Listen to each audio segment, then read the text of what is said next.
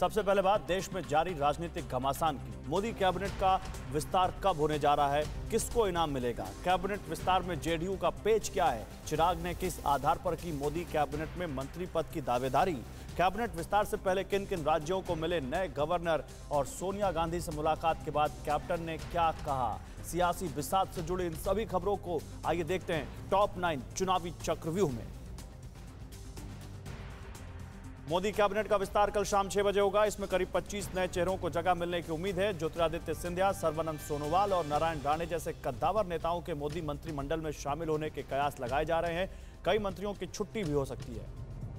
तो मोदी कैबिनेट का विस्तार हो सकता है। इसमें करीब 20 नए चेहरों को कांग्रेस छोड़कर बीजेपी में शामिल हुए मध्य प्रदेश के कद्दावर नेता ज्योतिरादित्य सिंधिया का मोदी कैबिनेट में शामिल होना लगभग तय है। ज्योतिरादित्य दिल्ली पहुँच गए हैं। इससे पहले आज उन्होंने उज्जैन में बाबा महाकाल मंदिर में पूजा अर्चना की।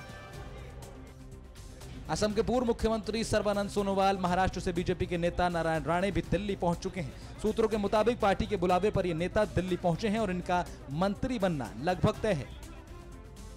मोदी कैबिनेट के विस्तार में जेडीयू को भी जगह मिलनी तय है, लेकिन कितने मंत्री होंगे, इसको लेकर अभी क्लियरिटी नहीं है। सूत्रों के मुताबिक बीजेपी नेतृत्व ने जेडीयू को दो सीटों का ऑफ़र दिया है, मगर वो तीन सीट चाहती है। इसके अलावा पशुपति पारस को भी सीट दिलाना चाहती है।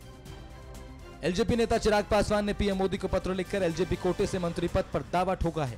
कहा कि पशुपति पारस को एलजेपी के कोटे के नाम पर मंत्री नहीं बनाया जाना चाहिए। एलजेपी केंद्र में एनडीए का हिस्सा है। अगर पार्टी के कोटे से किसी को मंत्री बनना है तो उसका एकमात्र सांसद चिराग यानी मैं खुद हूँ।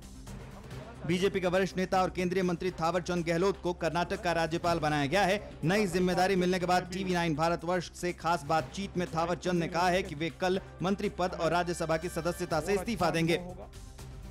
केंद्र में कैबिनेट विस्तार से पहले आज राष्ट्रपति रामनाथ कोविंद ने आठ राज्यपालों की नियुक्ति की है। इसमें से चार का ट्रांसफ़र किया गया है, जबकि चार नए गवर्नर बनाए गए हैं। थावरचंद गहलोत के अलावा तीन नए गवर्नर मंगू भाई पटेल, राजेंद्र विश्वनाथ आर्लेकर और हरिबाबू कंभमपति हैं।